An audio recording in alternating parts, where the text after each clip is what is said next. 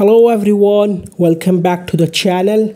Today in this video you will learn how to fix cannot create account. Your password cannot be include your name phone number or part of your email address. So guys let's get started without wasting any time Guys, many people make this common mistake of using their number as password for their Apple ID or using their name which is registered in their Apple ID as their profile name.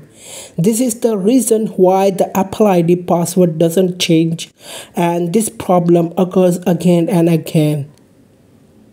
So guys, to solve this problem, remember that you don't have to enter your Apple ID number, your name and your email ID in the password section. If you are entering any of these three things, then you'll see this problem again and again.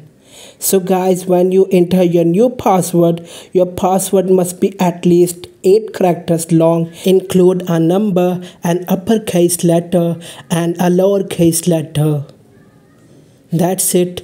Like, share and subscribe to the channel. Thanks for watching this video.